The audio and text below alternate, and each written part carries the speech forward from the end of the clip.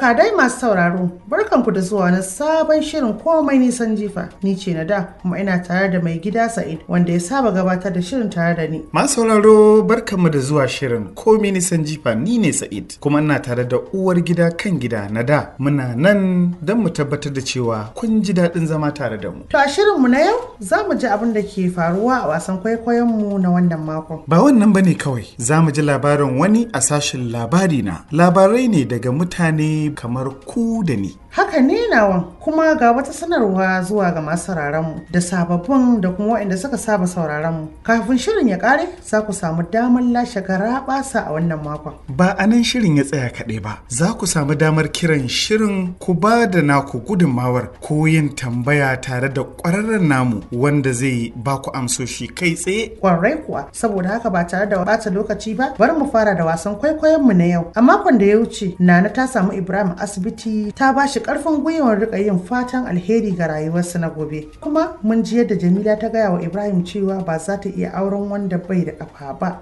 In tabɗi. Kuma Bilkisu ta ji yadda maganar tazarar haihuwa zai rage gaddamar su cikin ɗaki tare da Musa. Bayan wannan Maryam ta nemi shawara daga Nana akan ko ta iya na'am da buƙatar Kamal. To bari mu ji abin da zai faru ko kasance tare da mu. Yanzu za mu dawo.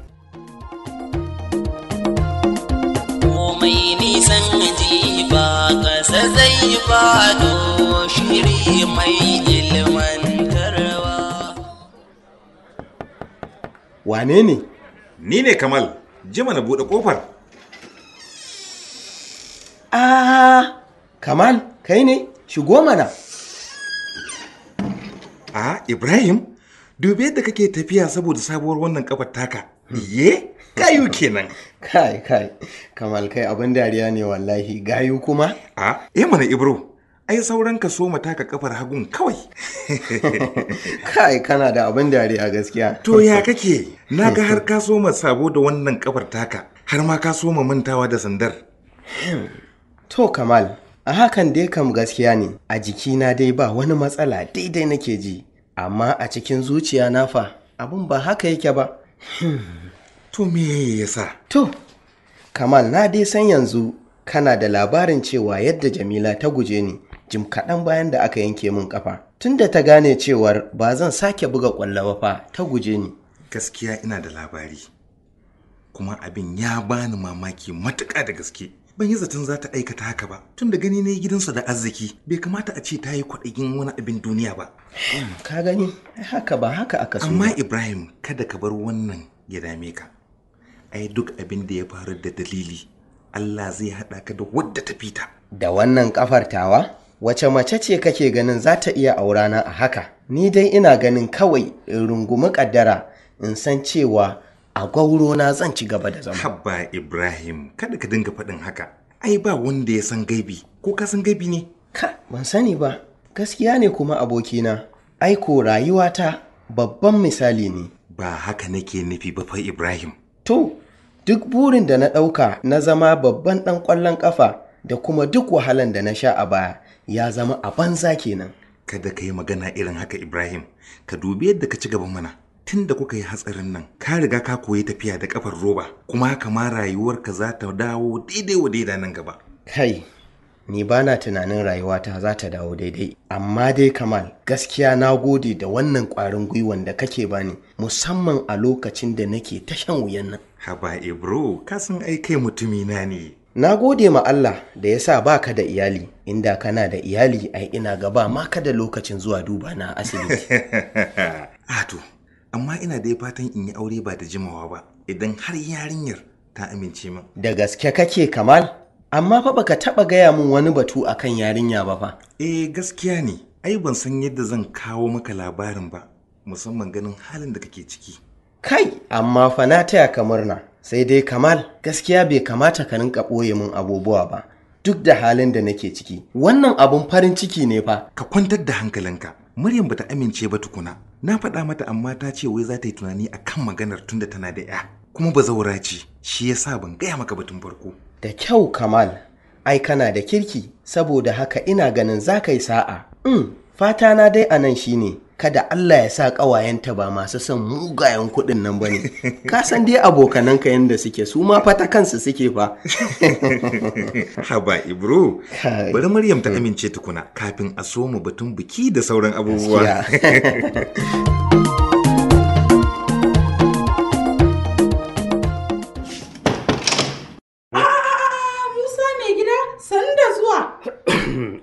masha Allah Ah, bara in taimaka maka da wannan buhun.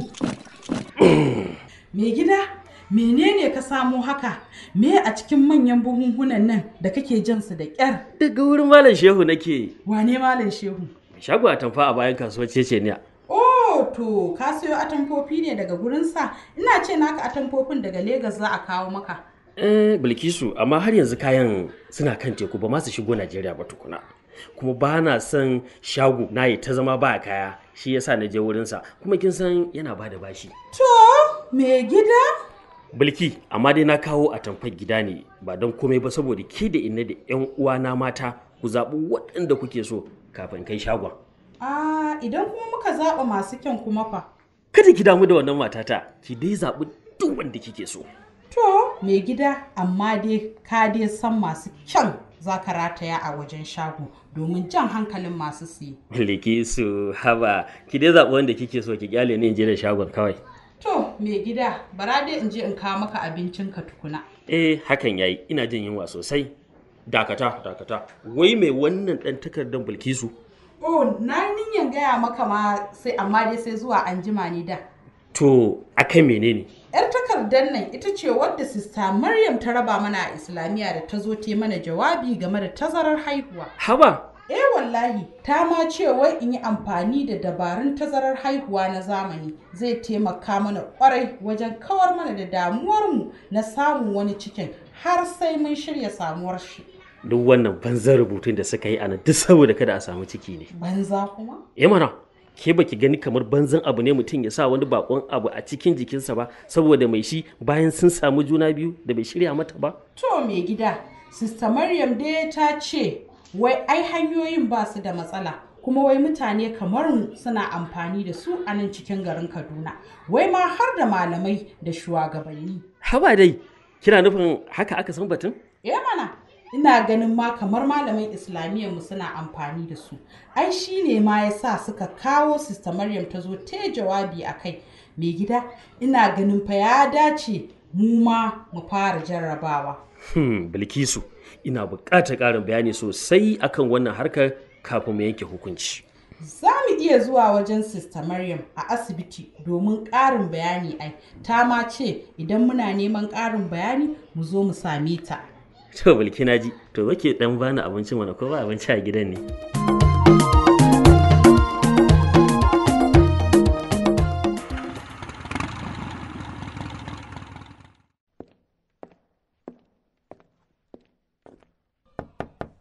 Wane ne? ni ne kamal in shigo Kamal, barka da zuwa. Ai ka kyauta da ka zo. Shigo ga wurin zama, bari in kawo maka kunun zaki daga cikin kicin. Ai ba zan ki ba maryam. Na gode. Gashi, bari in zuba maka. Em, maryam ai na ji daɗi da kika ce in zo in ganki a gida. Na san ai magana ta ce kika amsa. Za ki amince ki aure ni kenan? Eh kuma a'a. maryam don allah kada ki ja maganan nan. Ki dai gaya min abin da ke cikin zuciyarki. Kada ki sa min hawan jini mana. Ka tuna na faɗa maka game da tarihin rayuwata kafin in zo garin Kaduna har na zama sista a asibiti ko? eh kin gaya min an yadda ke tun kina jaririya har wasu suka ɗauke ki sai kuma Bayan rasuwar matar waccan gidan, an tura ni in zauna a gidan wani malam Sile a wannan anguwan. na'am Ƙaramin ɗan malam Sile ya gani ya nemi ya aure ni. to sai me ya faru bayan haka Mai gari mijin nawa kenan ya koma Port Harcourt wurin aiki ya bar ni tare da iyayensa. Mm, A sannan ne abubuwa suka taɓarɓare. Sirikina sai ya fara nuna min wani irin hali wanda ba na dattaku ba. subhanallahi ko dai Wallahi Kamal yana leƙe na duk lokacin da na shiga ban ɗaki in yi wanka. kin faɗa wa mijinki me ya ce Na faɗa masa amma bai yarda da abin da nake cewa ba.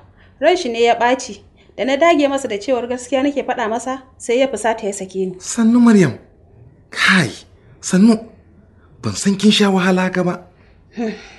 A wancan lokacin sai na yanke hukuncin in riƙe maganar tasa a matsayin sirri. Na ci gaba da zama a gidan nasu tunda bani da inda za ni.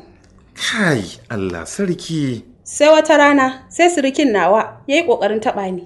Allah da ikonsa sai sirikata wato matarsa ta iske mu lokacin da nake ƙoƙarin in ture shi. A allah ya soki da ta zo. Ai za ta taimaka miki. Bata kuwa taimaka min ba kamal. Illa sai ta so ma faɗin cewa dama ni ke jan hankalin mijinta. Kuma idan har ban bar gidanta ba za ta ji mutunci na a gari. Kai! Wallahi kamal abin da ya sa na bar garin kenan na zo na zauna a wannan garin. To anisa fa? Sai bayan 'yan watanni ne na gane cewar ina ɗauke da ciki sai na yanke shawarar kada in gaya wa mai gari game da anisa saboda kada su karɓe min ita daga gare ni. Oh amma na so tun fari da kin faɗa min. Amma ba matsala maryam. Hakan ba zai canza son da nake miki ba. Har yanzu kana so ka aure ni? Ƙwarai kuwa, amma ina ganin ya kamata ki nemi mai gari domin ki sanar da shi game da diyarsa saboda kada gaba mu samu matsala. gaskiyanka kamal. Amma mai gari mai wuyan sha'ani ne. Tsoro na shine kada ya ba mu matsala.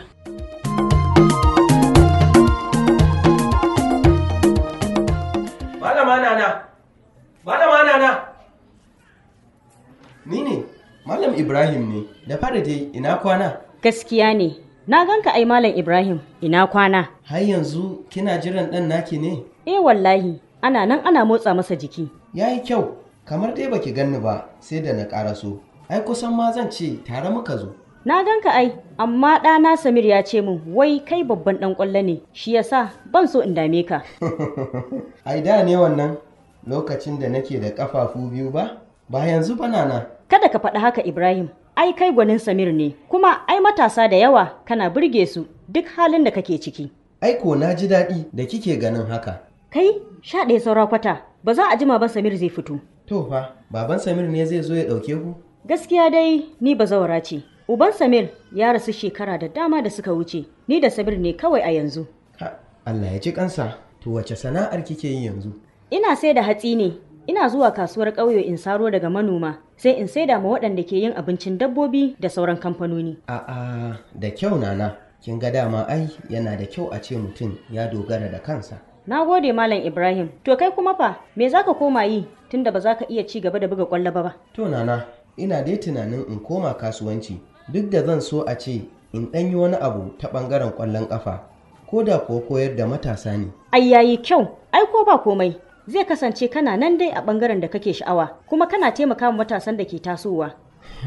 Shawarar kam ta yi, amma aiwatar da shi ne aiki. Saboda na riga na gama kashe kuɗaɗe na wurin neman maganin karayar ƙafata. Ko da hakan, kada dai ka karaya, ba yadda Allah baya yin abinsa. Idan dai zaka ci gaba da wannan tsarin naka, insha Allah komai zai yi kyau fa. Gaskiya ne nana, kina dai da ƙoƙari wajen ƙara wa mutum ƙwarin gwiwa. Gaskiyanki ne fa, ya kamata in ɗan yi wani abu domin in ci gaba da rayuwa.